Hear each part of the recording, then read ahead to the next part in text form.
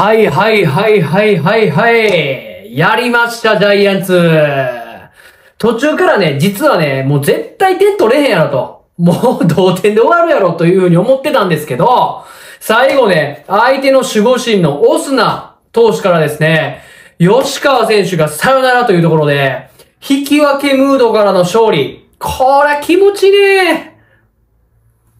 てな感じで始まりました。小山翔平ベースボールチャンネルです。今日も最後まで見ててください。よろしくお願いします。今日はですね、先ほど終わりました、あジャイアンツ対ホークスの試合解説やっていこうかなというふうに思ってます。はい、えー、すごく気分がいいですね。はい、えー、今日はですね、結果1対0、1対0というところで、延長12回まで行ったんだけど、えー、サヨナラ勝ちというところで、えー、ジャイアンツの勝利です。よっしゃーというところでね、非常に、えー、まあ、一言言うならですね、もうこちら、投手陣の粘りが素晴らしい。えー、引き分けムードから勝利。すごく気持ちいいというところでですね。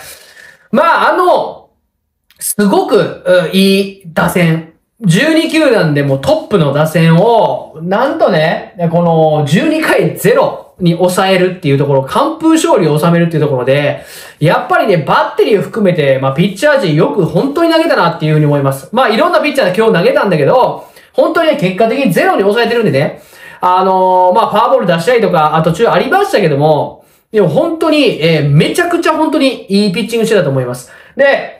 やはり、あの、じゃあ誰が一番良かったのってあの言われるとですね、やはり先発ピッチャーがね、しっかりこう、ゼロで、えー、堀田投手ですね、えー、リズムを作ってってっていうのがあったので、えー、後のピッチャーも繋いで、えー、いけたのかなというふうに思うので、えー、非常に堀田投手、うー岸田選手のね、背景も含めて、非常に今日素晴らしかったなというふうに思っております。はい。ちょっと口が回っておりませんけど、非常に、えー興奮しておりますというところです。じゃあね、えー、まあ今日の得点シーン、さらっと振り返って、えー、僕の解説でいきたいと思います。はい、まず12回、まずというかね、まあサヨナラなんでね、えー、1得点しか入ってないんですけど、12回裏ですね、ワンアウト2塁という場面から、あ吉川選手が、あ初球の高めのストレートをね、コンパクトにパチン打ちまして、フェンス直撃というところで、えー最後サヨナラ勝ちというところで、えー、今日の得点シーンはこんな感じです。はい。じゃあちょっとね、僕が気になったところであったりとか、えー、ここはこうなったよ、みたいなところをね、できるだけわかりやすく伝えていきたいと思います。はい、まず1回裏ですね。あのー、非常にね、えーいい感じで、えー、チャンス作ったんですよね。えー、先頭丸さんが、あファーストへの内野安打。えー、ヘルナンデスは、あセンターフライに倒れるものの、ランナー一塁、ワンアウト一塁から、直樹さんの、ライト前ヒット。で、ワンアウト1、2塁で、さか、えー、岡本選手が、えーセンターフライに、えー大きいセンターフライを打ちました。で、えー、1、2塁だったんですけども、2塁ランナーの丸さんと1塁ランナーの吉川直樹選手がね、バーッとこう、どちらもね、タッチアップをして、2、3塁というところ、非常にね、積極性のアグレッシブなね、えー非常にいい走塁だったなというふうに思います。ただ、あ2アウト2、3塁で、まあ、坂本選手が、あまあ、レフトフライに倒れたんですけども、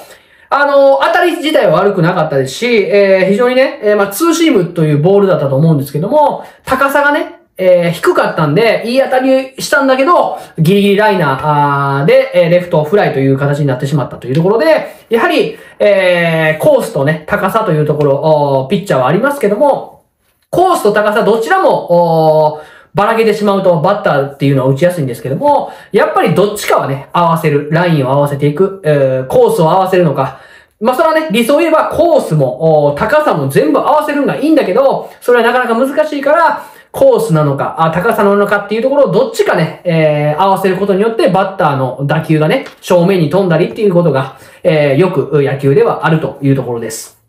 はい、えー、次、2回表ですね。えー、これ、えーソフトバンクのチャンスだったんですよね。はい、えー、山川選手にね、えっ、と、ツーストライクというカウントからですね、アウトハイの、まあ、これ多分ボールだと思うんです。ボール球をね、パーン センターに打たれて、えー、ツーベース打たれると。で、えっ、と、ノーアウト2塁から近藤選手をね、ファーストゴロ。もうこの打席でね、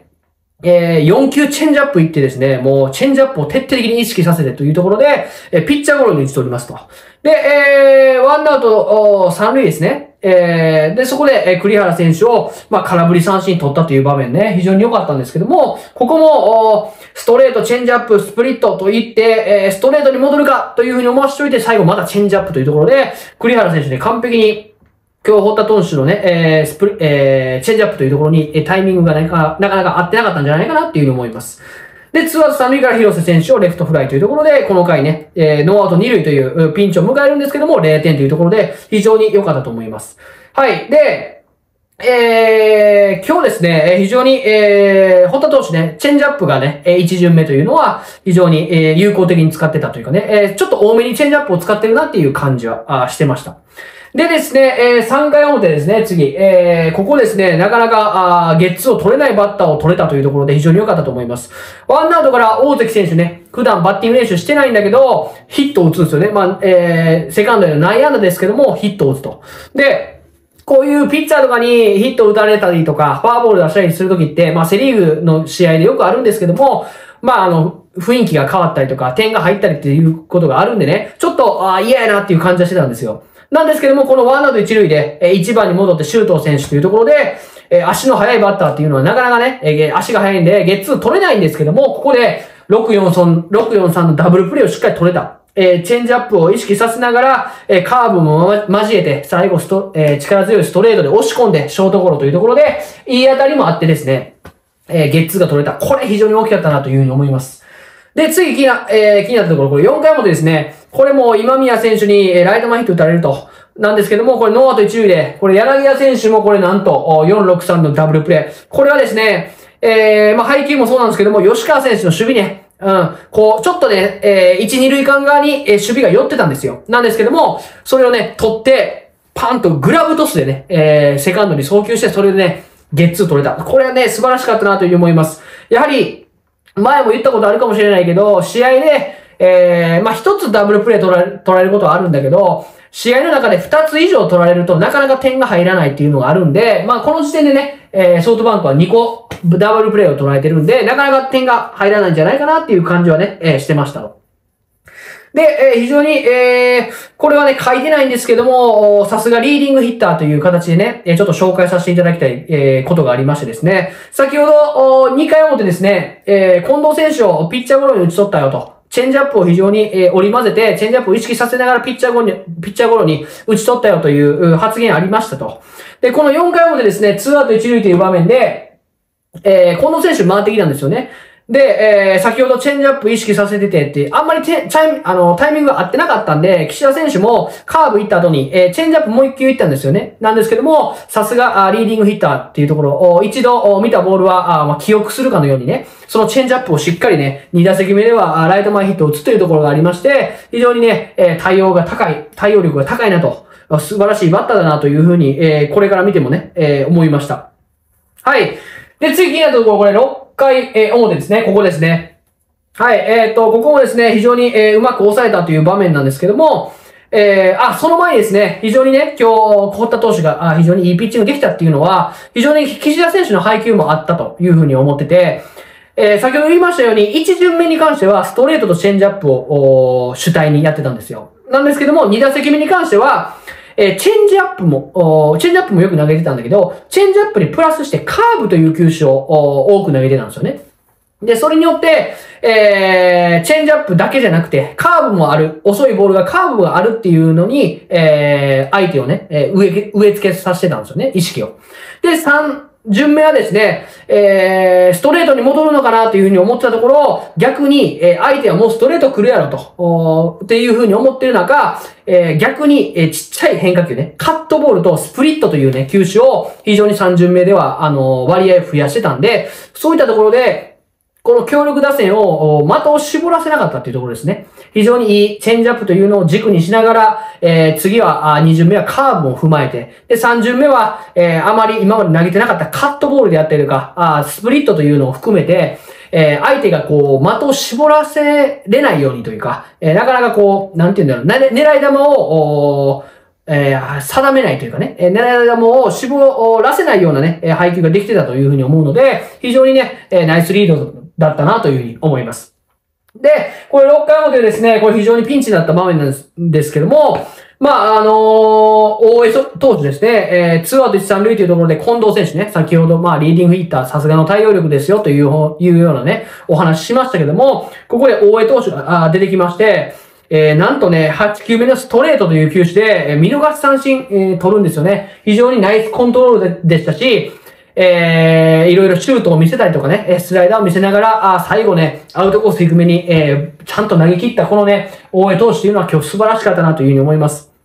で、えー、僕が、あ、ちょっと気になったところはですね、このね、えー、素晴らしい感じでね、抑えた後のイニングっていうのは、点が入りやすかったりするよってよく言うと思うんですけども、このね、6回裏ですね、6回表いい感じで抑えたんで、6回裏点が入るかっていうところで、えー、まあ、1番からの攻撃だったんでね、なおさら点が入りそうだったなというふうに思うんですけども、そこでね、三者三振してしまって、少しね、その、いい流れがジャイアンツに来そうなところを、ちょっとこう、バタンとね、ストップされたっていう感じはありました。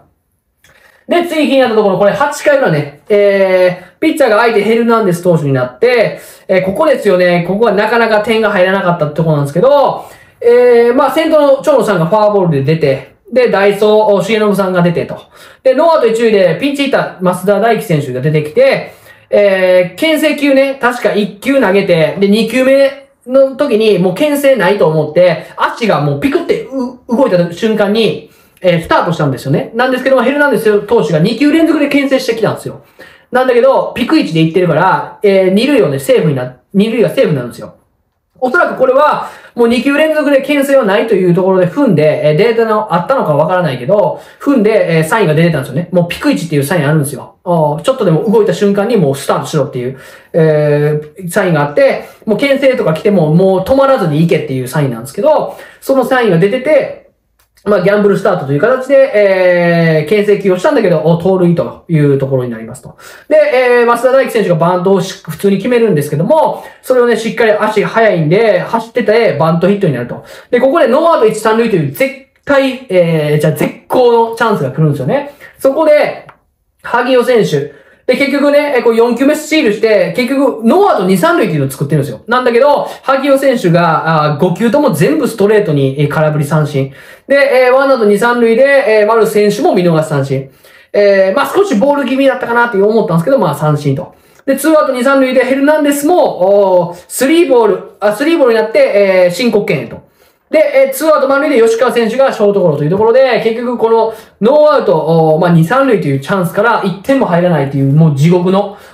まあ、デジャブというかね、昨日と一緒じゃないかっていうような展開になると。はい。で、次はですね、これ僕ちょっと感動してしまったんですけども、これ9回表ね、ピッチャーバルドナードが投げたんです。で、この打順3番、4番、5番っていうもう地獄みたいな打順だったんですよ。なんだけど、僕が今まで見てきたバルドナードの中で一番エグかったんちゃうかっていうぐらい。うん。球も157キロとか出てたし、えー、ストライクゾーンのほんまにギリギリにしか来おへんという、もうマジで異次元みたいなピッチングしてて、ちょっとね、これは、さすがの、えー、3番、4番、5番、柳田、えー、山川、近藤でもさすがに打てへんやろっていうピッチングをしてて、ちょっと僕な、なんか知らんけど泣きそうになったというか、すごく感動したんですよね。すごくすすぎて。うん。それぐらいすごいピッチングでした。はい。で、10回表ですね、えここは非常に、えー、えー、泉投手が投げた回なんですけど、非常にフィールディングが良かったっていう話で、あのー、先頭にね、栗原選手ヒット打たれるんですよ。で、えー、ノーアウト一塁で、川瀬選手がね、バントするんですけど、インハイの球投げて、ちょっとバントを強く、弾かせて、え、泉選手が取ってすぐ二塁に送球して、えー、これをね、えー、あ、二塁でアウトしたっていうのが非常にいいフィールディングでしたね。で、その後も海野選手がバントして、えー、ランナー二塁やるんだけど、お中村選手ね、中村選手を、えー、これ申告権か、申告権。で、えー、ツアーで一、二塁で三森選手、非常にいいバッターが次々ね、代打に出てくるっていうところなんですけど、初球のね、通信も打ってさ、えー、ファーストゴロというところで、非常にね、やっぱりこのバントのフィーリングがあったからこそ、この回抑えられたのかなというふうに思うので、非常にナイスピッチングだったなというふうに思います。で、次気になったところ、11回でね、はい、あのー、これね、ケラー投手が投げてたんですけど、まあ、あのーツーアウトからですね、山川選手、まあ、近藤選手をファーボール出してしまうと。まあ、ちょっと警戒がね、えー、強すぎるあまり、えー、出してしまうと。で、このツーアウト1、2塁で栗原選手を迎えるんですけども、あのー、非常にね、やっぱりカーブという球種がいいから、あの、追い込まれてからやっぱり、あの、変化球マークが強くなるわけですよ。なんだけど、最後、その変化球マークが強いからっていうところで、インサイドのね、えー、一発があるかもしれないけど、怖いんだけど、インサイドのまっすぐいけるというところで、変化球マークの栗原選手に裏を書いて、まっすぐインサイド行って、えー、三振取れた。これはね、えー、ファーブル2つ出したんだけど、ここはしっかり投げ切れてたんで、ケラーも良かったなというふうに思います。で、最後ですよね、12回裏。はい、ここね、あのーまあ、吉川選手がね、打ったんで、ここ、こあ書いてますけども、僕が実は大きかったなというふうに思うのが、この、小林選手のバントなんですよね。はい、えー、先頭ね、丸選手、もちろんね、レフト前ヒットすごいです。ただ、このね、ノーアウト1塁でピンチヒッターの小林選手が代打バントをするんですよ。なんだけど、オスナ選手でね、球がめちゃくちゃ速いと、バント簡単にさせてくれないという風な場面なんだけど、そこをね、しっかりね、サードがめちゃくちゃチャージしてきてる中、ファースト側にしっかり転がす。これめちゃくちゃね、簡単そうに見えるんだけど、めっちゃ難しいんですよ。で、えー、ワンアウト二塁になって、吉川選手がね、えーラ、ライトオーバーのツーベースというところで、勝負決まりましたけども、僕は、まあ、打った吉川選手ももちろんすごいよ。もちろんヒーローなんだけど、これね、影のヒーローは本当に、えー、まあ、レフト前ヒット打った丸さんもそうだし、この代打バントで、あんだけサードチャージしてきて、サードに、えーやらさずに、こう、ファースト側にちゃんときっききっちりね、1打席で転がせたっていう小林選手のね、バントっていうのが非常にね、えー今日に関しては大きかったんじゃないかなというふうに思います。はい、そんな感じでね、はい、あの、まあ、負けるだろうと、途中ね、もうこのあたりぐらい思ってたんだけど、こんだけ、あの、チャンス作られたら負けるだろうというふうに正直思ってたんですけど、やっぱピッチャーがね、しっかり粘って粘って、えージャイアンツもチャンスあったんだけど、チャンスはチャンスで取れなくて、えーで、ああ、引き分けかっていう感じになってたんだけど、最後ね、えー、丸さんのヒット、小林選手の代打バント、えー、直樹さんの、えーライトオーバーというところで、勝ててね、なんかその非常になんか、なんて言うんだろう。よくあるじゃないですか。なんか負けると思ってて勝った時ってめっちゃ嬉しいじゃないですか。逆に勝てると思った時に負けた時の、あの、精神的ダメージってエグいけど、逆ってめっちゃこんな気持ちいいやなっていう風にね、なんか改めてね、感じさせていただきました。はい、そんな感じでね、今日勝ったんで、あの、明日もね、えー勝って、えー、2勝1敗の勝ち越しというところでね、えーすごく調子のいいソフトバンクから勝ち星を奪えたらね、非常に、えー勝ち越しを決めれたら、非常にね、ジャイアンツも乗っていくと思うし、え交流戦ね、えこれからね、楽しくなっていくと思うので、えーぜひ明日も勝ってほしいなというふうに思っておりますし、明日もしっかり応援していきたいなというふうに思ってます。はい、そんな感じで今日は終わってきます。いつもありがとうございます。これからもどうぞよろしくお願いします。そんな感じで今日は終わってきます。じゃあね、バイバ